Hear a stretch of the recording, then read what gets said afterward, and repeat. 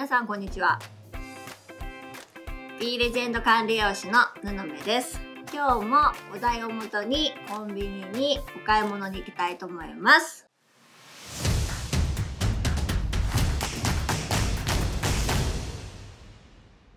今日のテーマお願いします。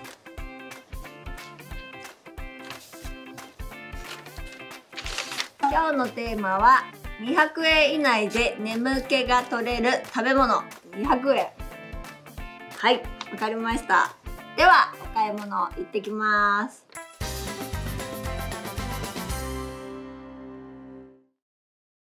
眠気を覚ます食べ物ということなんですけれどもそもそも眠気というのがどうやって起こるのかと言いますと、まあ、一般的に一番多いと言われているのが血糖値が関係してくると言われています。血糖値が食後上がって血糖値が下がると眠気が起きると言われています。なのでその血糖値が急上昇すればするほどその後すごく下がるのでまずは食事自体もですね眠気を起こしづらくするポイントがありまして急激な血糖値の上昇を起こしにくいようなものを食べるといいかと思います。血糖値が緩やかに上がる食べ物としてよく挙げられるのは、まあ、パスタですとか、えお蕎麦。とか玄米とか、えー、こういったものですと血糖値上がりづらいというふうに言われています。でまた炭水化物を単独で摂るとすごく血糖値の急上昇って起こってしまうので一緒にタンパク質とか脂質食物繊維なんかも一緒に摂ると急激な血糖値の上昇を防げるというふうにも言われています。というまあ大前提がありまして、まあ、それでもねあの眠気って起こることあるかと思います。ではそんな時に何を食べたらいいか3つご紹介したいと思います。それでは1つ目。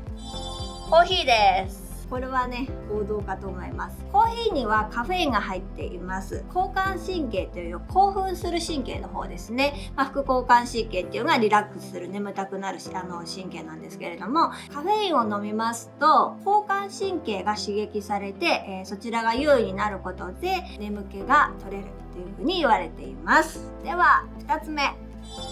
ガムですミントとかそういう清涼系の味付けがされているガムになります。ミントとかってまずスーッとするのでそこでも眠気が覚めやすくなりますしあとは咀嚼によって眠気が、え覚めやすいと言われていますのでガムになります。そして3つ目酸っ